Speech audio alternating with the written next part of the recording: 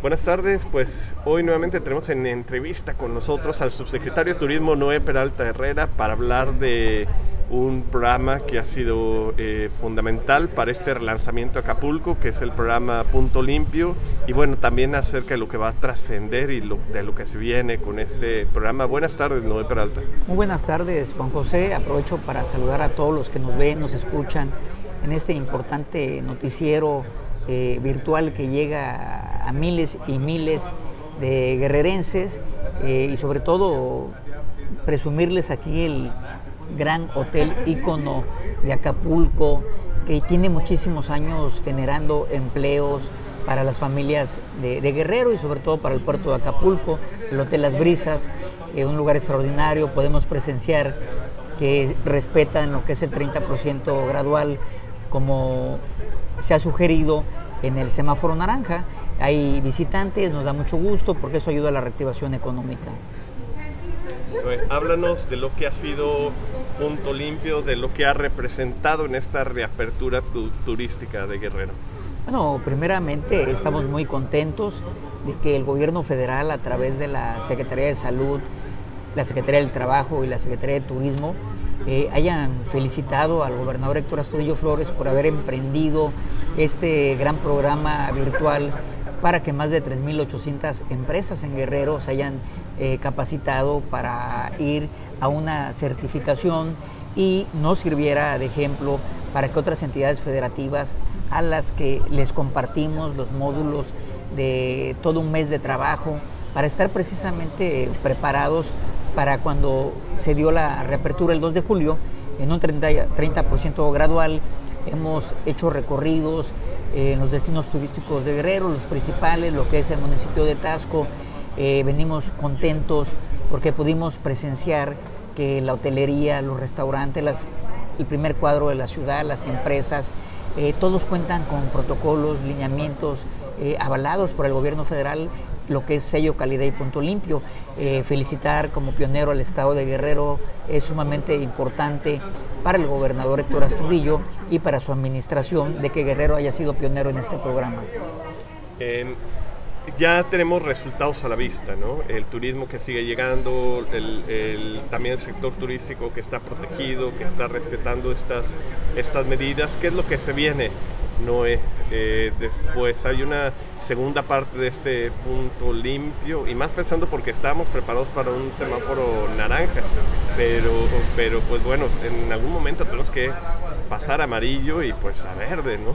Es correcto, eh, las indicaciones del gobernador Héctor Astudillo Flores es que no bajemos la guardia, al contrario, que fortalezcamos eh, lo que es la capacitación, eh, hemos hablado con las empresas hoteleras, restauranteras, agencias de viajes, guías de turistas, prestadores de servicios turísticos, que en esta suma de esfuerzo tenemos que ir todos de la mano, pero también juega importante eh, un papel la participación ciudadana.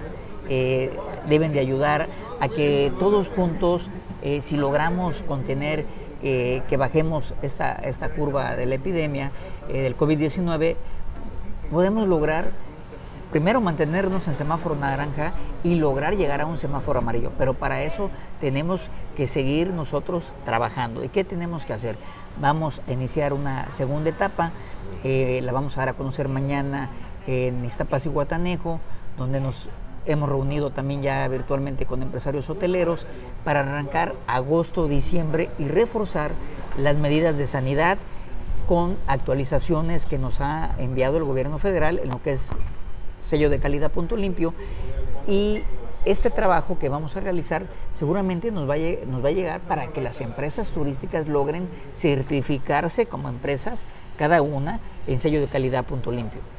Em, ¿qué, implica esta segunda fase, este programa que se presenta mañana en Cihuatanejo, para las empresas turísticas principalmente? primeramente el reforzamiento y que ellos tengan eh, la seguridad. Primero, hay algo como lo ha dicho el gobernador.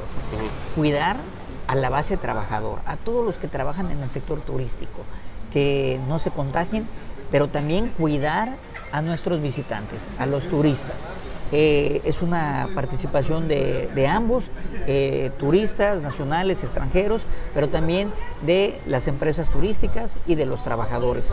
Vamos a reforzar estos protocolos, estos lineamientos para que logremos nosotros llegar a un semáforo amarillo y tengamos en esta reactivación económica del 30% que ha ayudado mucho a las familias del sector, podamos ya tener una ampliación este, en el semáforo amarillo. Pero para eso eh, sigo insistiendo que tenemos que hacer un trabajo en una suma de esfuerzos en conjunto y vamos a iniciar en Cihuatanejo como lo hicimos en el 2018 en el municipio de Tasco de Alarcón. Bien, eh, pues perfecto, Noé. Sobre esta segunda parte, algo más que, que, esté ahí pendiente, que algo más que nos puedas decir. Este, bueno, yo seguramente hay buenas expectativas, como fue con esta primera primera parte, este, pues de antemano desearles mucho éxito ¿no? en esta nueva encomienda. Primeramente, agradecerles y felicitar a todo el sector turístico porque este trabajo que se hizo de Punto Limpio eh, fue básico para la reapertura.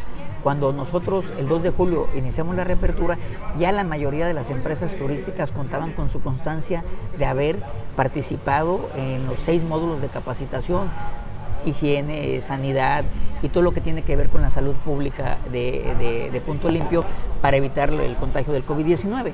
Ahora, en esta segunda etapa lo que queremos lograr es reforzar, reforzamiento y es ahí donde también eh, volvemos a lanzar la convocatoria a aquellas empresas que no alcanzaron a tomar los módulos, pues que es momento que se capaciten. Es momento, porque como lo ha dicho el gobierno federal, el único certificado a nivel nacional que avala a una empresa turística es Punto Limpio. Entonces nosotros estamos en la disposición, no les va a costar ni un centavo, toda la capacitación es absorbida por el gobierno de Guerrero, como lo dijo al principio el gobernador Astudillo, que la hotelería, los restaurantes, prestadores de servicios no pagarían ni un solo peso, que toda la capacitación, esta mano de obra la pagaría el gobierno de Guerrero. Bien, pues muchas gracias Noé por esta importante noticia para el sector turístico de Guerrero. Gracias a ti Juan José por la oportunidad que me das para expresarle a todos los guerrerenses y a todo el sector turístico de que vamos muy bien, vamos en la ruta correcta en la capacitación.